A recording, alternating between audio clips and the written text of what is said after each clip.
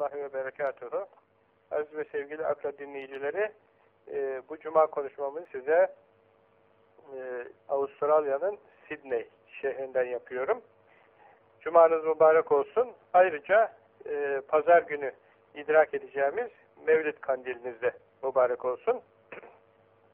Allahu Teala Hazretleri cümlenizi Peygamber Efendimizin şefaatine erdirsin. Ahirette, cennette Peygamber Efendimiz'e sevdiklerinizle beraber komşu eylesin. Biliyorsunuz e, en çok Allah'ı sevmemiz lazım. Çünkü her şeyimiz ondan. Varlığımız ondan, efendim e, imanımız, haysiyetimiz, şerefimiz, mutluluğumuz, yediğimiz, içtiğimiz nimetler, teneffüs ettiğimiz hava, efendim içtiğimiz su, her şey, her şey onun bize lütfu ihsanı olduğu için efendim e, en çok Allah'ı sevmemiz lazım. Çünkü her yönden en güzel olan Allahu Teala Hazretleri. Her sıfatı en güzel. Onun için onun sıfatlarına el esmaul hüsna diyoruz. Hüsna ahsen kelimesinin müennesi yani en güzel sıfatlar. Yani hiçbir varlığın sıfatıyla kabili mukayese değil, hepsinden mukayese edilmeyecek derecede üstün ve güzel. Her sıfatı güzel, her e, yönden en güzel, her türlü güzeli de yaratan efendim Allahu Teala Hazretleri olduğundan nerede bir güzel görseniz Allah'ı hatırlamanız lazım. Güzel bir efendim e, çiçek, güzel bir koku, tepeden tırnağa çiçek açmış bir ağaç, bir manzara, efendim bir tatlı meyve, bir güzel efendim manzara neyse her şey Cenab-ı Mevla'nın güzelliğini ilan ediyor. Allahu Teala Hazretleri e, kendisini bilen, marifetullahına eren, muhabbetullahına yükselen kullarından eylesin cümlemizi. Efendim e, biliyorsunuz e, bilmeden sevilmez. Efendim sevilse de sevgi tamam olmaz. Önce marifetullah lazım insanların Mevlasını, Rabbini, Allah'ı bilmesi lazım. Doğru bilmesi lazım. Çünkü doğru bilmediği zaman yanlış bilgilerle kafasını doldurduğu zaman tabi o zaman makbul olmuyor. Allah sevmiyor. Kendisini doğru bilmeyen, doğru inanmayan kendisine, doğru veçile itikat sahibi olmayan kimseleri sevmiyor. Müşrikleri, kafirleri, efendim sapıkları sevmiyor. Onun için e, tabi imanın, e, itikadın e, Allah'ın istediği veçile olması lazım. O da Kur'an-ı Kerim'de dinimizin efendim ahkamı içinde e, güzel din kitaplarımızın içinde güzel güzel anlatılmış. Tabi Allah'ı seven Allah'ın her şeyini sever. Sevenin her şeyi sevilir. Her şey güzel olduğu için. Allah'ın e, Efendimiz Allah'ı seven insanlar Resulünü de sever. Allah'ın gönderdiği Kur'an-ı Kerim'ini de sever. Dinini de sever. Dininin ahkamını da sever. Ağır da olsa, hafif de olsa, efendim kendisinin hoşuna da gitse, gitmese de, anlasa da, anlamasa da Allah'ın ahkamını da sever. Emirlerini, yasaklarını sever. Efalini sever. Allahu Teala Hazretlerinin yaptığı kudretinin asarı çevrede olan biten her şeye bakar, neylerse güzel eyler diye neylemişse onu da sever. Takdirini sever. Tabi takdir birkaç manaya geliyor. Bir şeyi çok beğenmek, hayran olmak filan gibi. Ben onu çok takdir ettim gibi kullanıyoruz biz ama burada benim anlatmak istediğim kader. Yani Allah'ın kaderini de sever. Kaderi böyle yazmış Mevlam efendim der. Kaderine de razı olur. Onu da sever. Likasını da sever. Tabi lika da iki manaya geliyor. Bir mülakat yani karşı karşıya gelmek, huzuruna varmak manasına geliyor. Onu kavuş, e, yani ona kavuşmak. Allah'a kavuşmayı sever mümin tabi. Sevdiği için ne ola kim görsem cemalin der ve kavuşmayı sever tabi e, efendim. Bir de lika yüzü manasına, veç manasına kullanılıyor. Hatta mehlika derler mesela. Ay yüzlü demek. Yani çehresi ay gibi olan demek. Likayı yüz manasında da kullanıyorlar. Tabi Allahu Teala Hazretleri mahlukatına benzemediği için leyse kemislihi şeyün olduğu için biz şimdi onun e, veşini bilemiyoruz ama ahirette ayın 14'ünü görür gibi mümin kulları cennette Mevla'yı görecekler. İzdihamsız, engelsiz efendim herkes e, Cenab-ı Rabbül İzzet'i görecek efendim ahirette öyle görür ümmeti dediği gibi.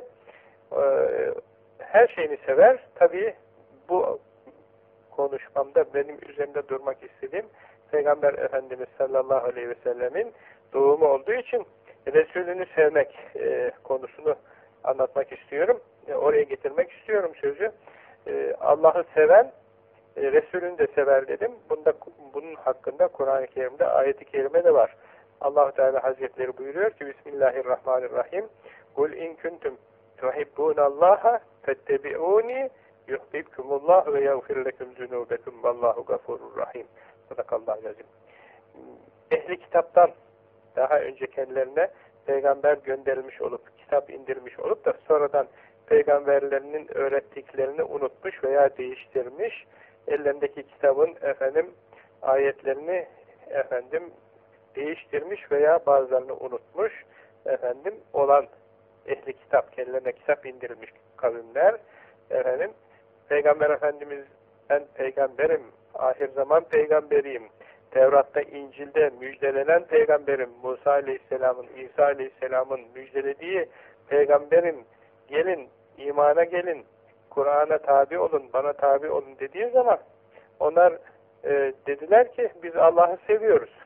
Allah'ı seviyoruz deyince Allahu Teala Hazretleri bu ayeti kerimeyi indirdi Peygamber Efendimiz'e. Onlara de ki Resulüm kul in kuntum tuhibbunallah eğer siz Allah'ı seviyorsanız Allah'ın şimdi size gönderdiği şu ben peygamberini de efendim kabul edin efendim tabi olun diye onlara söyleyin. Sana tabi olmazlarsa ben onları sevmem fe in tevelle fe innallaha la yuhibbul. Eğer senin bu davetine icabet etmez, sırt döner, kalkıp giderlerse Allah da o zaman kafirleri sevmez diye bildiriyor. Demek ki imanın gereğidir. Efendim e, icabıdır. Allah'ı sevmenin icabıdır. Resulünü sevmek. Tabi Allahu Teala Hazretleri Peygamber Efendimiz'i seçmiş. Mustafa ne demek? Seç, seçilmiş demek, süzülmüş demek, Müşteba ne demek? Yine aynı manaya seçkin olduğunu gösteriyor. Muhtar ne demek? İhtiyar olunmuş, seçilmiş demek. Peygamber Efendimiz'i seçmiş, Peygamber Efendimiz'i sevmiş, Habibullah eylemiş Allahu Teala Hazretleri. Demek ki güzeller güzeli. Hem yüzü güzel, hem adı güzel, hem işi güzel, hem görevini yapışı güzel. Adı güzel, kendi güzel Muhammed sallallahu aleyhi ve sellem. Alemlere rahmet Muhammed Mustafa sallallahu aleyhi ve sellem. İşte o mübarek e, peygamberimiz, ahir zaman peygamberi, men la nebiyye ba'dehu, kendisinden sonra başka peygamber gelmeyecek olan o mübarek zat, o sahibül kevser, kevser havzunun sahibi, o mem biyedihi livaul hamd, e, mahşer günü hamd sancağı elinde olan o mübarek peygamberi zişan, efendim, o e, Nebiyyür Rahme, Şefi'ül Ümme, ümmetin şefaatçisi, efendim, rahmet peygamberi Muhammed Mustafa, işte Rebi evvel ayının 12. gününde doğdu. 20 Nisan e, rastlamış. Doğduğu zaman miladi takvimin hesabı yapılıyor. 12 Rebi, Rebi'ül evvelde doğmuş. 20 Nisan'a rastlamış bir baharda efendim bir baharda ki cihanın en güzel baharı, dünyanın en güzel baharı olmuş. Cihanın en güzel gülü açmış, en güzel çiçeği açılmış. Efendim e, e, cihan bostanında e, Peygamber-i Zişanımız dünyaya gelmiş. Ne kadar güzel, ne kadar mühim bir olay, ne kadar heyecanlandırıcı bir olay. Efendim biliyorsunuz Rebi'ül Evvel ayına girdik. Efendim e, Muharrem ayı geçti. E, hacıların dönmesinden sonra konuşmalarımda ifade ettiğim gibi Safer ayı geçti. Saferül Hayr geçti. Geldi Rebi'ül Evvel ayı. Peygamber Efendimizin doğduğu mübarek ay. İşte o bu sene e, Türkiye hesabıyla 5 e, Temmuz Pazar günü efendim e, Rebiül Evvel'in 12'si oluyor. Peygamber Efendimizin Mevlid kandili oluyor. Bazıları yanlışlıkla Mevlüt diyorlar. İle söylüyorlar. Mevlüt değil, Mevlid i ile. Neden? Çünkü Mevlüt doğmuş olan çocuğa mevlud derler. Hani hadisi şerifte hatırlar hatırlayacak bazı efendim bilgili kardeşlerim, hadisi şerifleri duymuş olan bazı Müslüman kardeşlerim, allah Teala Hazretlerinin o mübarek peygamberi ne buyuruyordu? Küllü mevludin yuledi alel fıtrati. Her doğan çocuk fıtratı asliye üzere doğar. Fıtratı asliye üzere dünyaya gelir. Mümin gibi efendim mümin olarak dünyaya gelir fe ebevahu sonradan onu yetiştiren annesi babası yühevvidanihi Yahudileştirirler ev yunassıranihi veyahut Hristiyanlaştırırlar ev yümeccisanihi veyahut mecusileştirirler. Yani annenin babanın terbiyesi onu etkiler. İlk önce İslam fıtratı üzere doğmuşken çocuk sonradan maalesef annesi babası yanlış terbiye vermişse yanlış yola gider. Tabi bizim buradan hemen çıkartmamız gereken bir mühim ders var. Biz de çocuklarımızı hiç olmazsa fıtratı asliyesini bozmadan yetiştirelim. Madem İslam fıtratı üzere doğmuş çocuklarımız efendim küllü mevludin yuledu alel fıtratı madem İslam fıtratı üzere doğmuş bari fıtratını biz bozmayalım. Biz Müslümanlar evlatlarımızı Müslüman olarak da yetiştirelim. Müslüman olarak yaşasınlar. Ahirete de Allah'ın sevdiği mümin kullar olarak gitsinler. Allah'a sevdiği kul olarak kavuşsunlar. Allah'ı seven kul olarak, aşık-ı sadık kul olarak kavuşsunlar. Demek ki mevlid kandilidir, iyi iledir. Mevlud değildir. Mevlid çünkü doğan çocuğa verilen bir isim. İkisi yakın birbirine ama farklı kelimeler. Mevlid kandili. Efendim bu mevlid, e, mevlid kandili mevlid yani doğma zamanı demek. İsmi zaman. Mef'il vezinde ve veladet maslarından velede yelidü oradan mevlid geliyor. Doğma zamanı demek. Yani ismi zaman e, sigası oluyor bu. Efendim Peygamber Efendimizin doğması veyahut ismi zaman aynı zamanda masarı mimi olur. Bir veladet manasına yani doğuş Peygamber Efendimizin doğuşu manasına gelir. Bazen de bizim bu kullandığımız iki mananın dışında da kullanılır Arapçada mevlid diye o zaman doğum yeri manasına da gelebilir. Mesela falanca kişinin mevlidi Konya'dır. Falanca kişinin mevlidi Semerkant'tır. Falanca kişinin mevlidi Kahire'dir derler. Orada da doğma yeri manasına geliyor. Demek ki mevlid kelimesi doğuş manasına gelir. Doğma manasına gelir. Doğma zamanı manasına gelir. Doğma yeri manasına gelir. İşte bu Peygamber Efendimizin mevlidi yani doğuşuyla ilgili çok mühim bir olay. Çok tatlı bir olay eşsiz bir olay, çok güzel bir olay, çok büyük bir nimet, çok büyük bir rahmet, çok büyük bir rahmetin efendim dünyaya efendim gelişi, doğuşu efendim bunu bütün Müslümanlar heyecanla karşılamışlardır ve onun üzerinde efendim artık kalemlerin yetmediği yerlerde efendim düz yazının, nesirin yetmediği yerde şiirler yazmışlardır. Mevlid malzemeleri efendim yazmışlardır. Heyecanlarını efendim duygularını o güzel manzumelerle, şiirlerle ifade etmişlerdir. Ee, başta Süleyman Çelebi'yi hep herkes hatırlıyor. Efendim Bursalı mübarek Süleyman Çelebi Hazretleri Allah şefaatine erdesin. O cennet mekan mübarek zat ne kadar güzel e, mevlid manzumesi yazmış. Manzumesinin özel ismi de var. Onun mevlidinin adı Vesiletün Necat.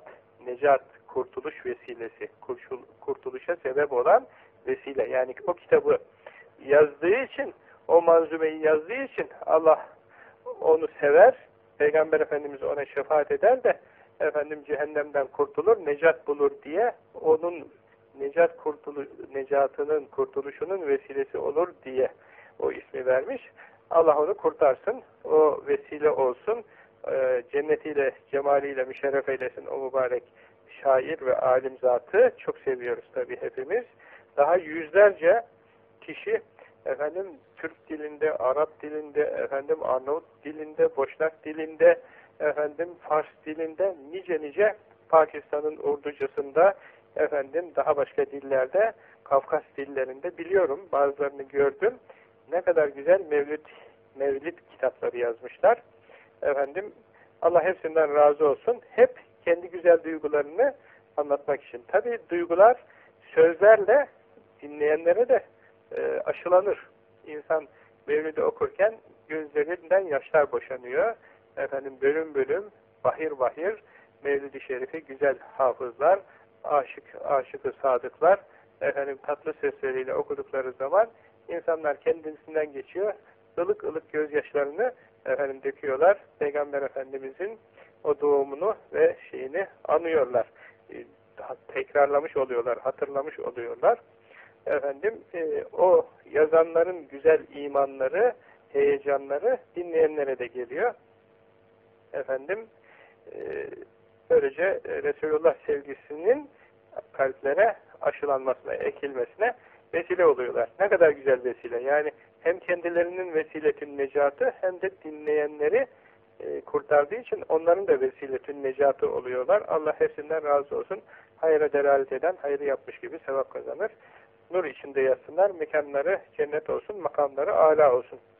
Efendim, e, hepimiz çok iyi biliyoruz, cümle cihan biliyor ki, e, iman neyle tamam oluyor? Kelimeteyni, şehadeteyn ile tamam oluyor. Yani, eşhedü en la ilahe illallah demekle ve artı ilave bu yetmiyor ve eşhedü enne Muhammeden abduhu ve resuluhu demekle tamam oluyor. Peki bir insan eşhedü en la ilahe illallah derse sonra Muhammedur Resulullah demezse yani Peygamber Efendimizin peygamberliğini kabul etmezse ne olur? Mümin olmaz. Neden? Onu Allah göndermiş. Hz. Musa'yı gönderen, Hz. İsa'yı gönderen daha adlarını bilmediğimiz nice binlerce mübarek zatı, peygamberi, enbiya ve mürselini gönderen Allahu Teala Hazretleri ahir zaman peygamberi olarak Muhammed-i Mustafa'sını, seçkin Muhammed'ini, Ahmed-i Mahmud-u, Muhammed-i Muhtar-ı Mustafa'sını göndermiş, e, ona da iman edecek. Neden? Çünkü o kapıdan geçince iman bahçesine giriliyor. O kapıdan geçmezse bahçenin dışında kalınca ormanın içinde dikenlerin arasında kurtların efendim canavarların arasında kalmış oluyor. O bahçeye girenler e, esenliğe eriyorlar, selamete eriyorlar. Çünkü ona inanmadan imanın inceliklerini bilmek mümkün değil. O, o ilim deryası, o kenarsız umman, o Muhammed Mustafa aleyhissalatü vesselam neler öğretti bize? Binlerce sayfalık efendim hadis kitaplarını okuyun. Bilmediğimiz neleri neleri neleri öğrettiğini anlayın. Her şeyimizi ona borçluyuz. İlmimizi, irfanımızı, edebimizi, adetimizi, örfümüzü, geleneğimizi, temizliğimizi, misafirperverliğimizi, güzel huyluluğumuzu, tatlı dilliliğimizi, sabrımızı, vefamızı, arkadaşlığımızı, dostluğumuzu, her şeyimizi ona borçluyuz. Hepsini o, o öğretti. On, onun o terbiyesine ermemiş insanların ne kadar gaddar, ne kadar hunhar, ne kadar cebbar, ne kadar cani, ne kadar efendim azılı, azgın, sapkın insanlar olduğunu çevrenize bakarsanız hemen göreceksiniz. Farkı fark edersiniz. Yani Muhammed Mustafa Hazretlerinin rahleyi tedrisinden geçmiş insanla o, o terbiyeyi görmemiş insan arasında dağlar kadar fark vardır. Taşla taşla zümrüt, yakut, elmas arasındaki fark kadar. Kaldırım taşıyla ötekisi arasındaki fark kadar. Toprakla gökteki yıldız kadar fark vardır. Onun için eşhedü en la ilahe illallah diyecek ve eşhedü enne Muhammeden abduhu ve resulühü diyecek. İman Resulullah'ı kabulle tamam oluyor. İrfan da onu sevmekle kemale erer. Yani ben Müslüman oldum. Oldun ama affedersin ot gibi. Ot gibi hiçbir şeyden haberi yok, hiç duygusu yok, hiç heyecanı yok, gözü yaşarmaz, İslam için kalbi çarpmaz, Müslüman kardeşlerine acımaz, yardım elini uzatmaz, kesenin ağzını açmaz, efendim hiçbir hayır yok. Yani irfansız şey ama iman etmiş ama kupkuru efendim bomboş efendim tatsız tuzsuz. İrfan ne zaman tamamlanır? Resulullah sallallahu aleyhi ve sellem hazretlerini sevmekle tamamlanır. İman onunla bütünleşir, iman onunla tahakkuk eder, irfan onunla kemaline erer, onu sevmekle. Onun için hepimiz hepimiz efendim Resulullah'ı sevmeyi nasıl seveceğiz diye düşünmeliyiz, aramalıyız, sevmenin yollarını bulmaya çalışmalıyız. Efendim, çarelerini sormalıyız. Eczacı aramalıyız. Tabii bir Müslümi hazık aramalıyız.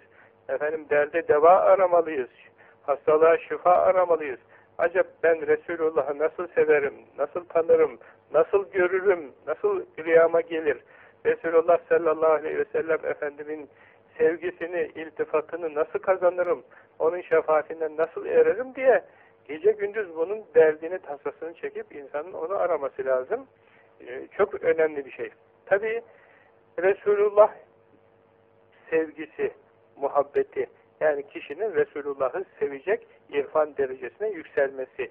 Bir, tabi Peygamber Efendimiz de kendisini seveni karşılıksız koymaz. Seviyorsa e, Resulullah tarafından da seviliyor demektir. Sevemiyorsa da Resulullah tarafından sevilmeme tehlikesi bahis konusudur. Ondan da korkmak lazım. Ya benim içimde Resulullah'la ilgili bir heyecan uyanmıyor. Evet salatü selam getiriyorum filan ama böyle bir hiç böyle bir başkalarına bakıyorum da nasıl ılık ılık gözyaşı döküyorlar, nasıl ahu enin ediyorlar, efendim nasıl seviyorlar, efendim birilerini duyuyorum da ne güzel rüyalar görmüş, efendim anlatıyor, ağzımın suyu akıyor, akıyor hayran oluyorum. E ben de hiç öyle şeyler olmuyor. Ha, sende o şeyler olmuyorsa, efendim, onun sebebini araştırmak lazım. Çünkü, efendim, e, kalp temiz olmayınca Resulullah sallallahu aleyhi ve sellem Efendimiz de teveccüh etmez. Kalp temizlenecek ki, insanın gönlüne, kalbine Resulullah sallallahu aleyhi ve sellem Efendimizin muhabbeti gelsin. Onun için kendisinde bir kusur olduğunu, ya bir günah işliyordur, ya bir harama bulaşmıştır, temizlememiştir kendisini, efendim, ya bir edepsizliği vardır, ondan oluyordur, çok ağlayacak, yalvaracak, efendim, tazarru ve niyaz edecek de, o durumdan kendisini kurtaracak.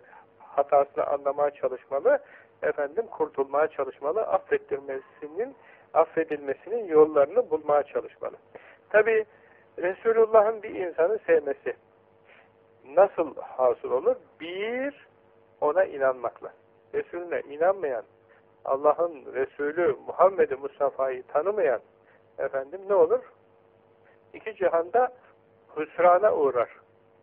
İki cihanda bedbaht olur. İki cihanda efendim ziyan eder. İki cihanı kara olur, kararır. Neden? Resulullah sallallahu aleyhi sana inanmayan e, gider imansız. Dediği gibi Yunus Emre'mizin efendim ona inanmayan imansız göçü verir, mahvolup perişan olur. Önce inanacak. Efendim Resulullah sallallahu aleyhi ve selleme. Sonra efendim salatü selamı çok edecek. Ya Resulallah sana salatü selam olsun. Ya Resulallah selamımı sana arz ederim. Ey bari sabah o tarafa doğru esersen selamımı Resulullah'ın ravzasına iletiver diye böyle efendim salatü selam gönderecek. Neden? Onun faydası ne? Çünkü Peygamber Efendimiz hadis-i şeriflerinde bildirmiş ki efendim bir insan Peygamber Efendimiz'e salavat getirirse o salavatı şerifeyi efendim melekler Peygamber Efendimiz'e anında tebliğ ederler. Ya Resulallah falanca diyardan falancanın oğlu filanca veyahut filancanın kızı falanca hanım sana salatü selam etti diye bildirirler. Peygamber Efendimiz kendisine salatü selam edeni bilir. O da selama selam verir. Çünkü selama selam vermek İslami adaptandır. Kur'an-ı Kerim'de nasıl buyuruluyor? Bismillahirrahmanirrahim. Ve izâ huyyitum bi tahiyyetin. Bir selamla selamlandığınız zaman ey müminler fehayyu bi ahsene minha. O selamdan daha güzel bir karşılıkla selamı karşılayın. Cevabını verin selamın. Esselamu aleyküm demişse ve aleyküm selam ve rahmetullah ve berekatü diyeyim mesela. Şöyle bir güleç yüz ekleyin, tatlı dil ekleyin, birkaç kelime daha ilave edin. Ev misliha, hiç olmazsa ve aleyküm selam deyin. Yani hiç olmazsa karşılık verin. Öyle sırtınız dönük, efendim, e, cevapsız bırakmayın. Kimisi diyor ki, Esselamu Aleyküm deyince, günaydın. Canım, günaydın sadece dü dünyada havanın güneşlik olduğunu, günün aydın olduğunu gösteriyor. Ama Esselamu Aleyküm hem dünyada hem ahirette selamet senin olsun, selamet yurdu olan cennete gir, Allah'ın selamına er, selamına mazhar ol manasına geliyor. Bunun manası çok daha derin. Yani ona düşmanlık olur mu?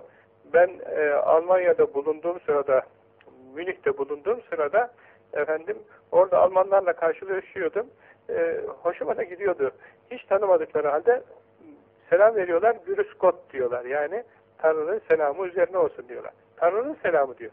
Almanya'nın da bazı yerlerinde o Prusya taraflarında, Hannover taraflarında filan onlar da Guten Tag derlermiş yani. yani. Gün aydın olsun diye.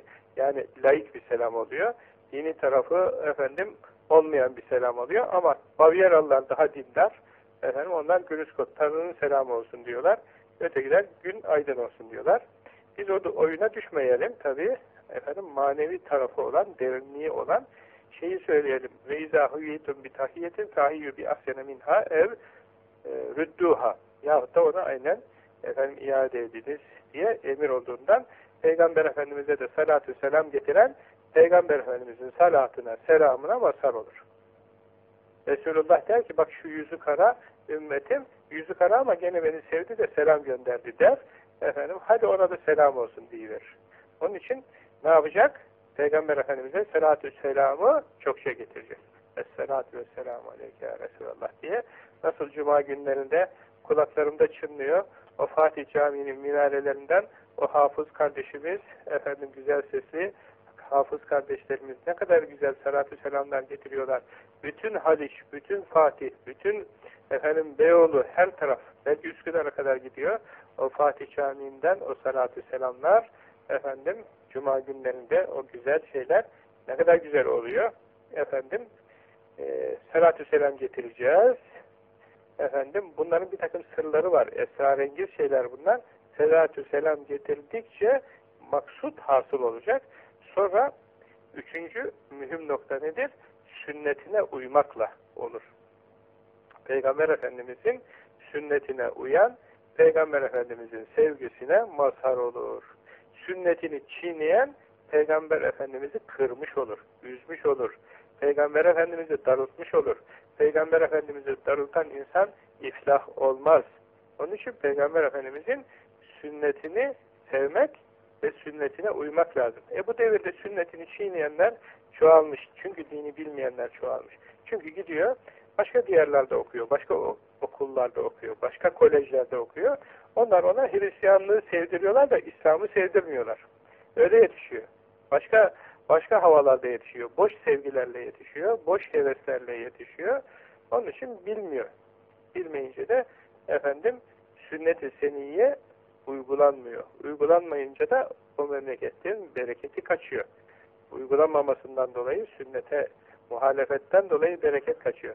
İşte ümmetin fesada uğradığı zamanda yani bozulduğu efendim zamanda Efendimizin sünnetine sarılmak ve onu ihya etmek çok sevap.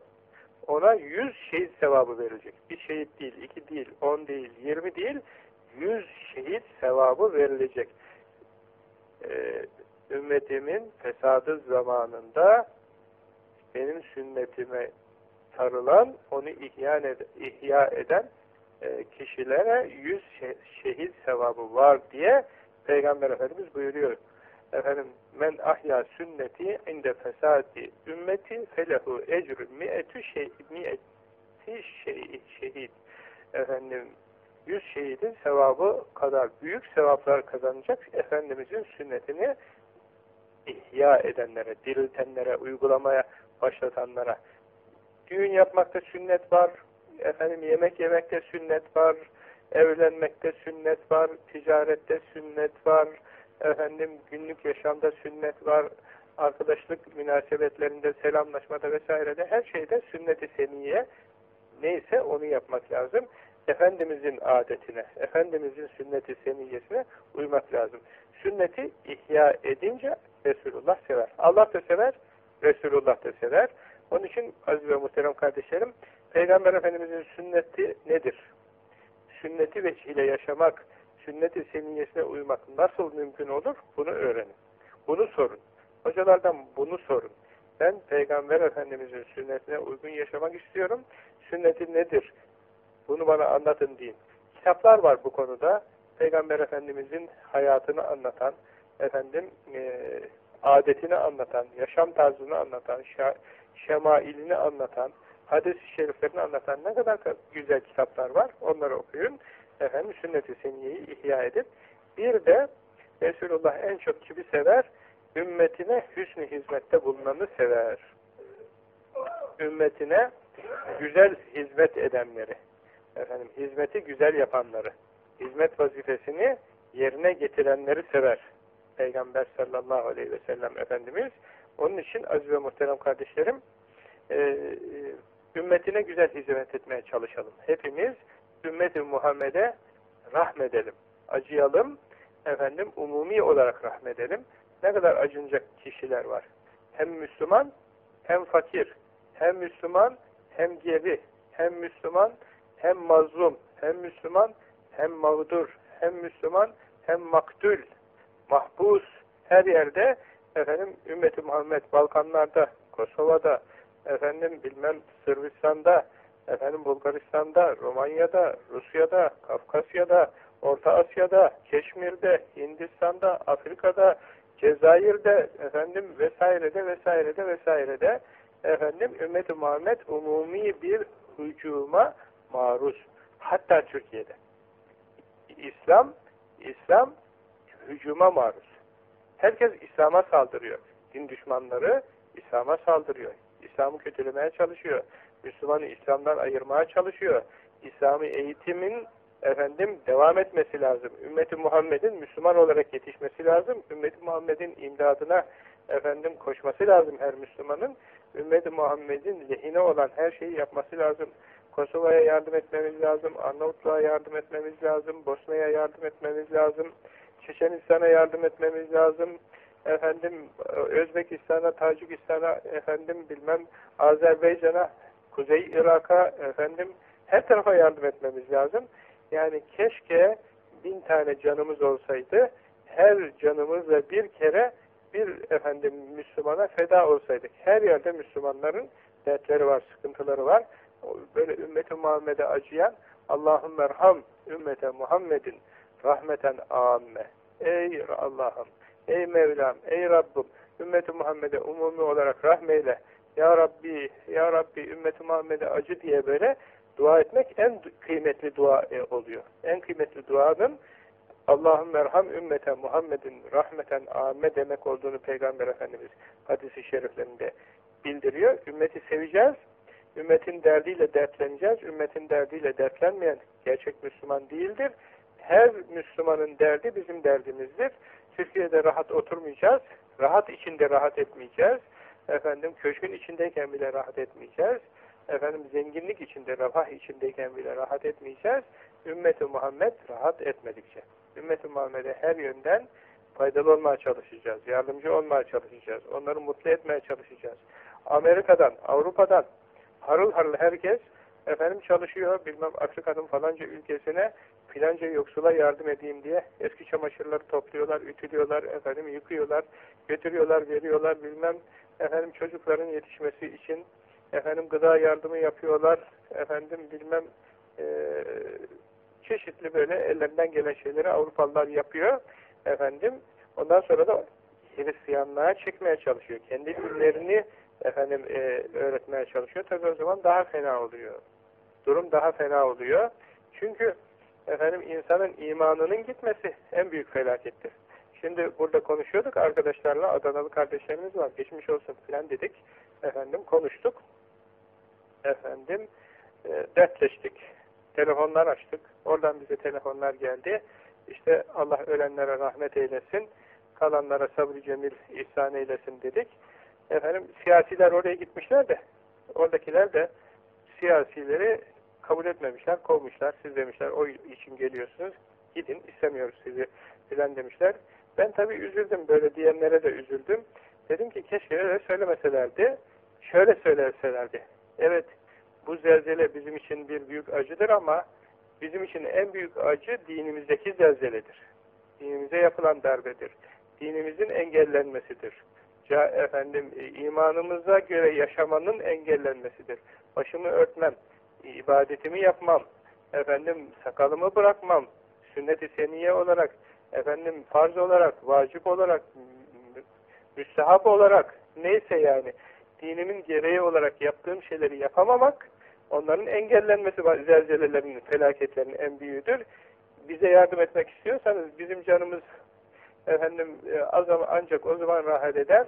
Bize o hususlarda yardım edin lütfen diye keşke söyleselerdi de onların efendim geçmiş olsun diye yanına gelenleri kovmasalardı diye biraz efendim hoşuma gitmedi yani o davranışları. Böyle söyleselerdi acıları varsa bile yani başörtüsünün engellenmesi başörtülü kızımın okuldan atılması bizim için daha büyük zelzeledir desinler, derdini anlatsınlar.